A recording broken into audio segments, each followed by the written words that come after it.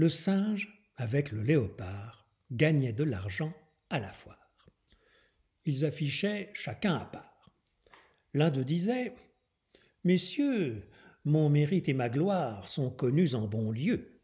Le roi m'a voulu voir, et si je meurs, il veut avoir un manchon de ma peau, tant elle est bigarrée, pleine de taches, marquetée et vergetée et mouchetée.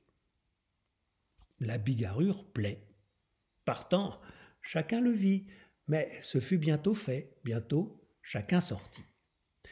Le singe, de sa part, disait Venez de grâce, venez messieurs, je fais cent tours de passe-passe. Cette diversité dont on vous parle tant, mon voisin léopard, l'a sur soi seulement. Moi, je l'ai dans l'esprit.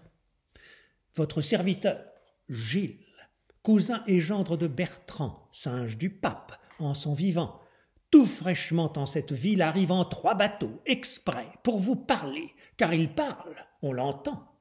Il sait danser, baller, faire des tours de toutes sortes, passer en des cerceaux, et le tout pour blancs. Non, messieurs, pour un sou.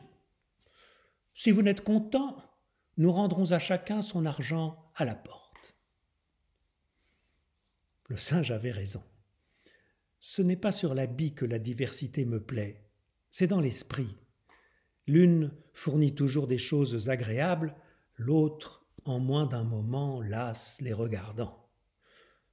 Oh, que de grands seigneurs aux léopards semblables n'ont que l'habit pour tout talent.